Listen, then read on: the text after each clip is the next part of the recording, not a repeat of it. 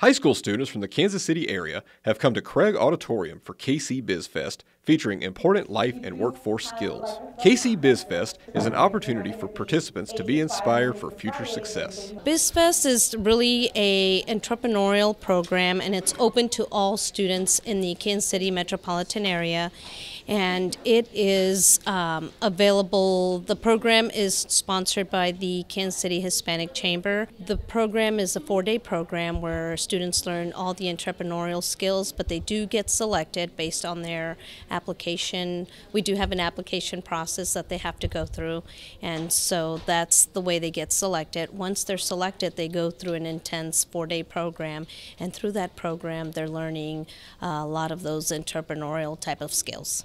So as far as business is uh, as BizFest is concerned, one of the things that I've seen that I've been able to experience from being involved in BizFest for all these years is I've seen students' lives changed. I've seen students go from shy high school students to very um, professional, very uh, uh, students that feel good about themselves. I've also seen a lot of students graduate from college firsthand and seen the impact that the program has made because it's shown them that there are people that are willing to help them if they put the effort into it. Students attending KC BizFest come from diverse backgrounds with different goals and motivations for being here. One student is inspired by his father. I was introduced uh, BizFest by Connie Springfield, uh, one of my administrators, and uh, she said that it was a, a, good opportunity to learn about business. And uh, since I want to, uh, I've always been introduced by my dad that business is always a way, a way to go. And if you're a businessman, you're a free man to do whatever you want.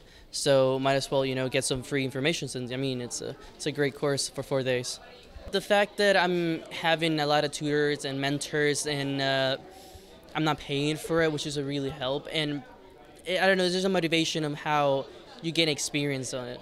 And you know, life hits you, and you got you might as well like, learn some life skills and uh, the fact that you know you get you get some scholarships, which just adds to the fun of it, and it's you know it will be awesome if you know the fact that you can get rewarded by something you did it for four days.